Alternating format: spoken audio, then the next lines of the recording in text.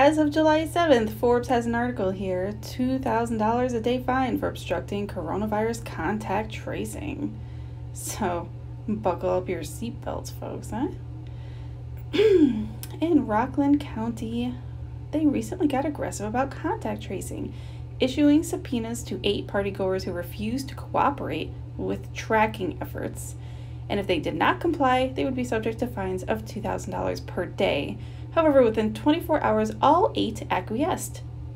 So, it looks like the threat of money means that people will just do what they have to do, right?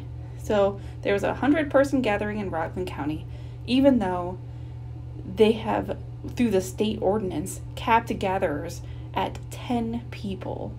After the party's host and eight guests, tested positive, Rockland officials launched a vigorous contact tracing effort to identify those who might have been exposed. So, the people were hanging up, denying they were there, even though their names had been given by a different party attendee. Instead of tolerating these partygoers' selfish refusal to cooperate, Rockland County upped the ante, issuing the subpoenas. The subpoena and financial warning worked as all eight individuals who had received a subpoena started to cooperate with the health department. I will not allow the health of our country to be compromised because of ignorance, stupidity, and obstinance, or anything else, said Rockland County executive. Amazing, right? Amazing. The contact tracing is one of the few tools that public health officials have in their arsenal to fight coronavirus outbreaks until the vaccine is safely developed. A role of government is to protect individuals and their families, as well as healthcare workers and essential workers. Wow. The hard skilled work of contact tracing is akin to hurricane warnings. People are alerted if they ran if, if sorry, if they can protect themselves and their families, and we need. Mm, sorry, my uh, voiceover thing is right in the way. And we play the hand we are dealt, and we could possibly save lives and reduce the spread to restore our economy. Sadly, New York City and other places that have embraced contact tracing have struggled with its execution, with less than half city residents testing positive or presumed positive provided information to contact tracers. In Massachusetts, only 60% responding, and Louisiana, fewer than 50% were answering. Gee, I wonder why. Who wants to deal with these people? You really want to snitch on every single person? But where was this when protests were happening, right? Isn't that what you want to know? When all those protests were happening and there were gatherings of more than 10 people and more than 100 people and even more than a 1,000 people at a time? But no, coronavirus wasn't spiking then, right? Because riots and protesting is safe and is for people who are oppressed and therefore you cannot ask them if they went to a protest or a riot and you can't do anything. So, but now, now plebs, even though before when everyone was scared before the riots and protesting, some people were like, yeah, we should do contact tracing. uh-huh, uh-huh. Um, now, after the rota- protests and riots, and you saw on the news how they were acting, you're really going to be like, hmm, yeah, let's let's get in line with this, right? Okay, so individual rights have limits. They have limits. Just like one cannot yell fire in a crowded movie theater, and one's right to punch, throw punch ends where another person's nose begins, we need to rethink the balance of individual rights and community obligation. If individuals aren't willing to take rationale and basic steps to mitigate the spread, the government must mandate action and ramp up enforcement. So, in conclusion, Rockland County's subpoena and threat of a $2,000 fine worked well, and the rest of the country should adopt equal measures because American lives depend on it. Amazing. Watch this. This report is based on Amazing Polly's recent video, Is This Torture?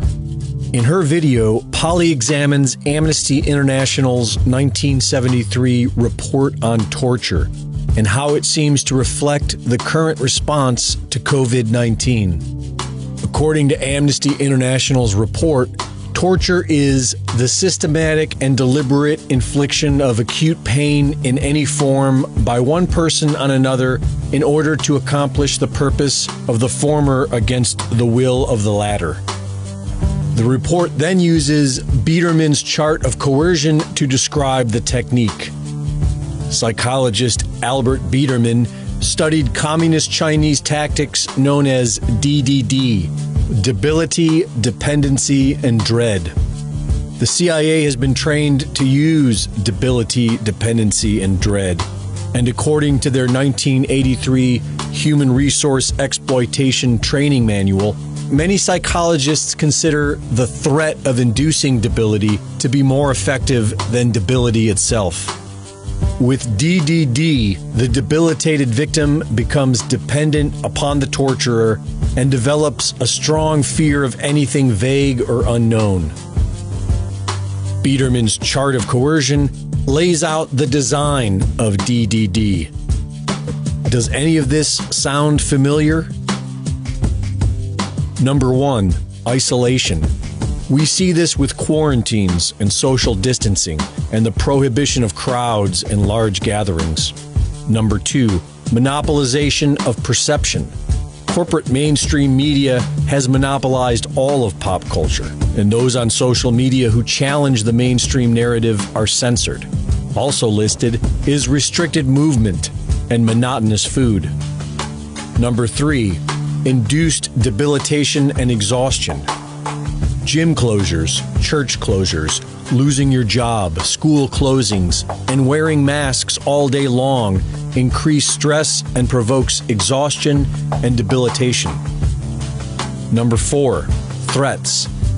We are threatened that our own children may be taken away from our homes and that experimental forced vaccines are coming. We are told that more will die if we restart America and we are threatened with tracking chips, contact tracing, and a new normal. Number five, occasional indulgences. Here we find fluctuations of interrogators' attitudes, such as BLM protests are good, Trump rallies are bad. Walmart is okay, but small businesses are not. The torturer will provide occasional indulgences such as rewards for partial compliance. If you just wear a mask, someday we can return to normal. Number six, demonstrating omnipotence and omniscience. Shutting down the entire global economy was a pretty good demonstration of omnipotence. Huge fines and jail for people not wearing a mask. We see the omniscience with Anthony Fauci, Bill Gates, and other official experts. Number seven is degradation, being called non essential or a science denier, being treated as ignorant fools and called names by celebrities for not complying. Number eight, enforcing trivial demands.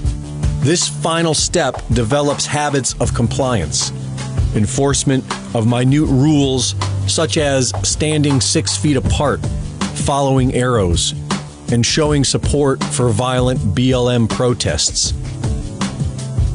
Also, according to the report on torture, many victims become ill as a result of coercion, and more than half the illnesses listed in the report can be easily diagnosed as COVID 19 according to CDC guidelines.